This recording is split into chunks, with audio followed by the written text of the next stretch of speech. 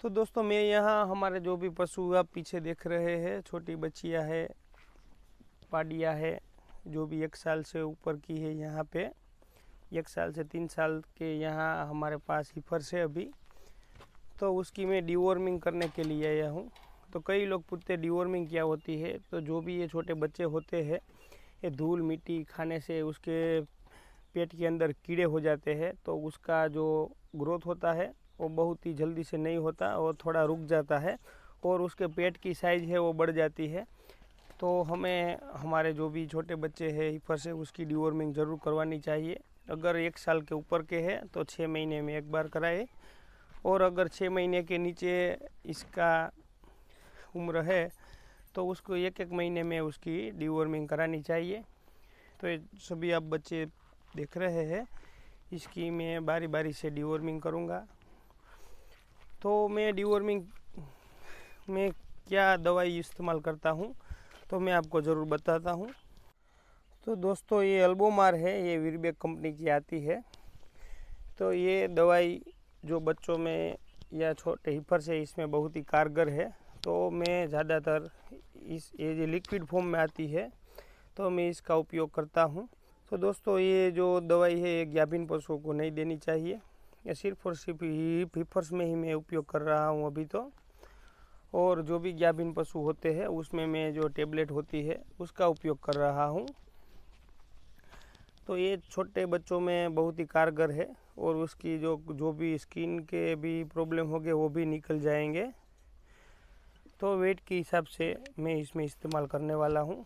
तो इसका इस्तेमाल मैं करता हूँ, मेरे पास अभी मैं आज कई दिनों के बाद आया तो मुझे जो इंजेक्शन है पंप है पंप मिल नहीं रहा है।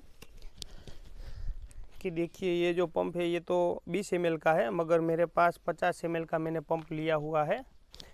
तो उसमें जितना चाहिए, उतना मैं भर लेता हूँ और बाद में इसको उसका मुँह खोल के ये पंप से स्प्रे कर देता हूँ ताकि कई बार क्या होता है कि हमारे जो भी पशु है, उसको मैं, इसकी नाल होती है, उससे मैं पिलाने की कोशिश करता हूँ, मगर वो बाहर निकाल देते हैं। तो मैं एक एक साल से ऊपर ऊपर इसका इस्तेमाल करता हूँ, ये इंजेक्ट में जितना आप, आपको अंदाज़ा भी लगता है कि इसमें कितना इसको देना है। तो अभी तो ये छोटा है तो दो बार इसको देना पड़ेगा मेरे को। मैं जो सभी ये पशु देख रहे हैं, इसमें चालीस एम इस्तेमाल करने वाला हूँ। कोई छोटे होते हैं तो तीस एम और सबसे बड़े ये देखिए, हमारा बुल है, इसमें हम पचास एम तक मैं यूज़ करता हूँ। और तो मेरा कहने का मतलब यही कि इसमें जो पचास एम वाला आता है, उसको आप ले ले आए और इसका, इसमें दवाई भर के इसके मुँह के अंदर ऐसे स्प्रे आप कर दें। तो ये आसानी से ये अंदर चला जाता है और कुछ भी नहीं होता।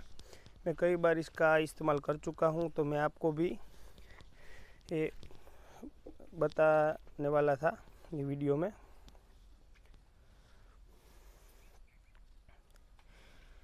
तो इसमें क्या है? इसमें बड़ा वाला पंप आता है पचास एम का तो उसको, उसमें आपको तीस एम भरना है, चालीस एम भरना है, बीस एम भरना है। अपने हिसाब से आप भर के उसके मुख के अंदर आप आसानी से ये चला भी जाता है और स्प्रे भी आप आसानी से कर सकते हो। तो ऐसे छोटे पंप ला के आप इस्तेमाल कर सकते हैं। आज मेरे पास बड़ा पंप है, वो खो गया है, मिल नहीं रहा तो मैं आपको बताने के लिए बीस एम का लेके आया हूँ। इसका मुझे बीस एम एल, चालीस एम देना है तो दो बार इसको अंदर स्प्रे करना पड़ेगा। तो दोस्तों, हमारी वीडियो आपको पसंद आई हो तो हमारे वीडियो को ज़रूर लाइक कीजिए और दूसरों को ज़रूर शेयर कीजिए। अगर आपने अभी तक हमारे चैनल को सब्सक्राइब नहीं किया तो हमारे चैनल को ज़रूर सब्सक्राइब कीजिएगा। जय श्री कृष्ण, जय द्वारिकाधीश।